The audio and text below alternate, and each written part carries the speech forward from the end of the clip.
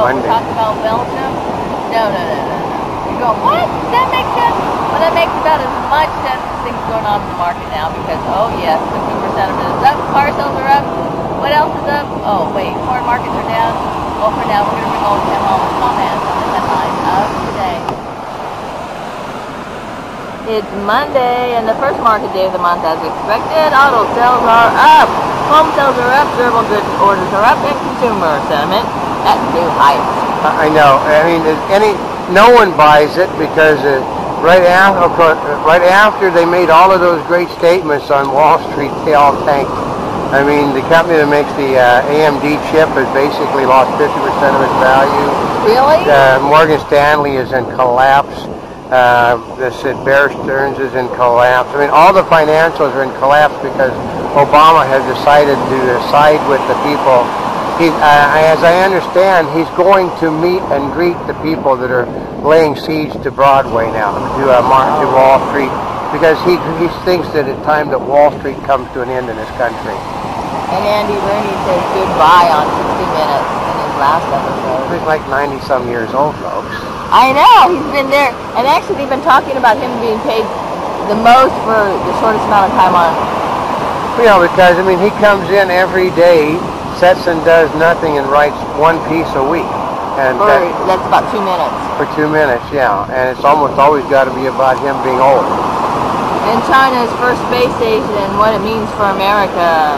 Well, it means, uh, you know, uh, okay, Muslims don't believe in space travel. Obama is a Muslim. The only thing he wants to use the space, uh, use uh, NASA for is as an outreach to the Muslim world. And Obama can kill anyone he wants to.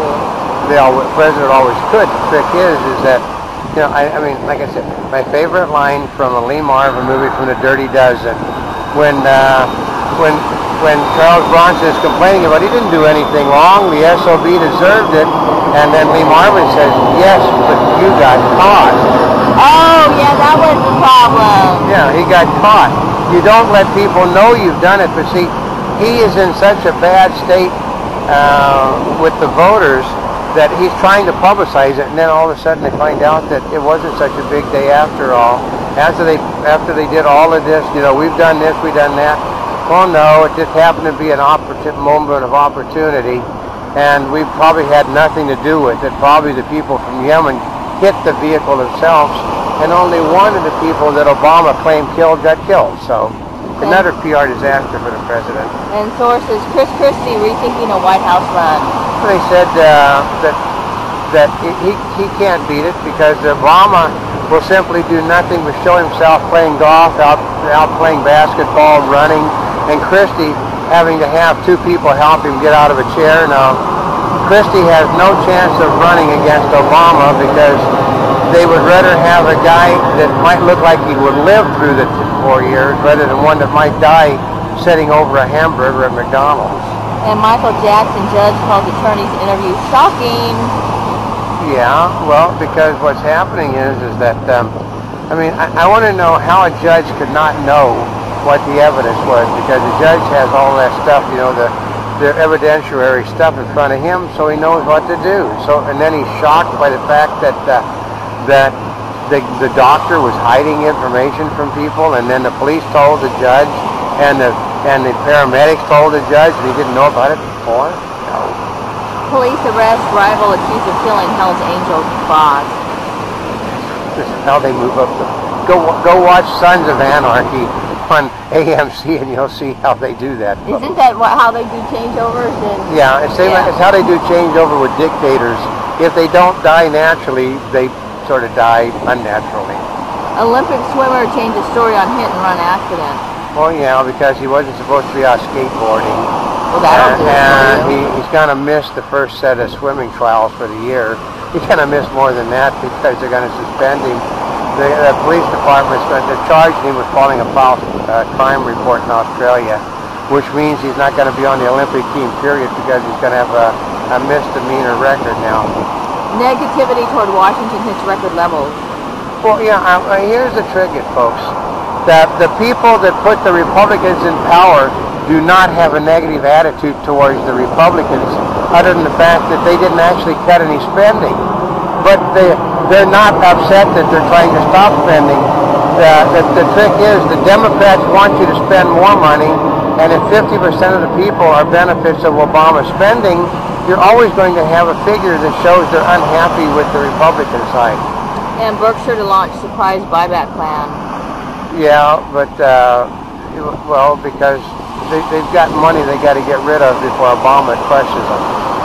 And Strauss-Kahn claims diplomatic immunity in lawsuit. Well, you know, because he had diplomat, he, he shouldn't have been arrested to begin with, and he was. And uh, the woman can't win the lawsuit. He's not coming back to the United States. He's going to be the next president of France. So he, he wants to keep it going as long as he can because the only thing the French people are upset about is that this guy so got, got so bad a taste in females. I know. I know. It's like that's insulting to them. To the French, that is a real bad insult because generally, if they ogle somebody, it's somebody cute and attractive.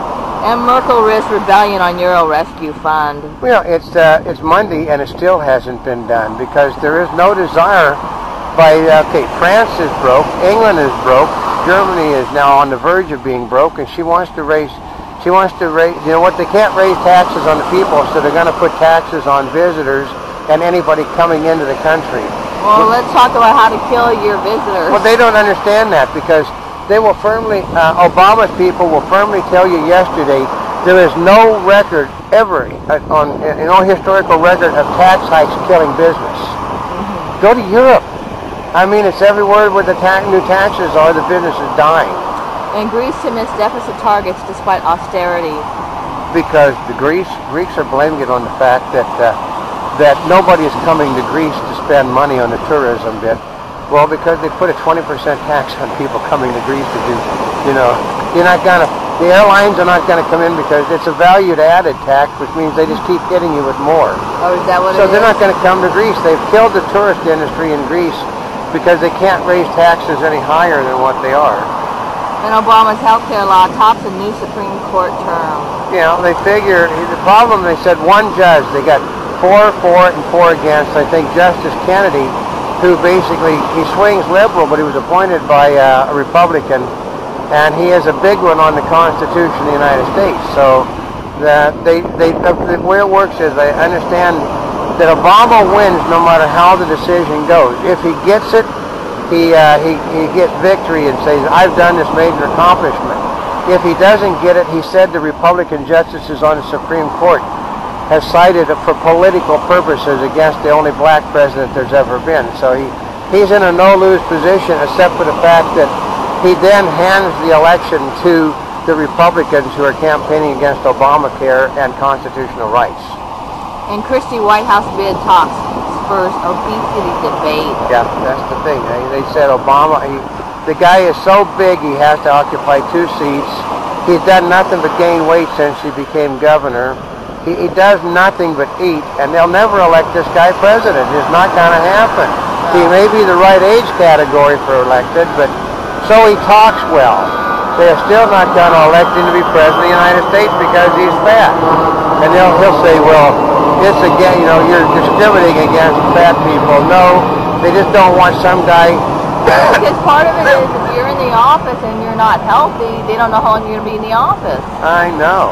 And then, you'll, Right. then, which means they'll be depending upon a vice president, and you know that would be Rubio. They assume would be the vice presidential nominee because he doesn't have to run for office. Well, you know, if he gets a VP candidate, you never know. You know, it said I love But that. usually it's like if, if somebody's what too old, McCain's problem, Yeah, too fat, which is Christie's problem. I mean, And- those and- are some of the reasons people won't elect somebody. And they're never going to elect another.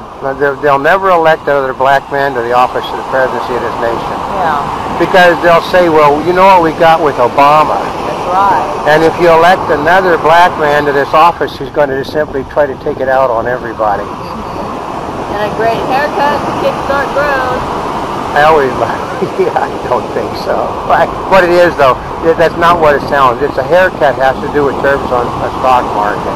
Are you serious? Yeah, they basically did some. They did what they're calling. They did some trimming of uh, of some, they, they downsized businesses, and by downsizing businesses, they figure they can make the business grow more, which never works because I mean, I've never seen a business that downsized other than AT&T grow. Oh, really? Yeah, AT&T basically ended up buying back all the pieces that it had before. So, And quick time to shine with the new Apple iPhone. uh, yeah, but I, I, the Apple iPhone, as I understand, is basically okay. We didn't get the invite. Actually, we don't go to San Francisco, but they're they're they're, they're debuting the new iPhone tomorrow, but it's being debuted without um, with you know without uh, the you know the company head anymore, and they don't think they could. they're going to be able to do that good a sales pitch Here's on part of without Steve. I mean, the company is Stephen Jobs. Okay. Yeah, and without without him, without him, it doesn't work. So and a Monty Bubbleism from the Mark Twain of the Animal Kingdom. I know. I love this. one. You're never too old to make changes in your life, but most are too stubborn by the time they get to my age to do it.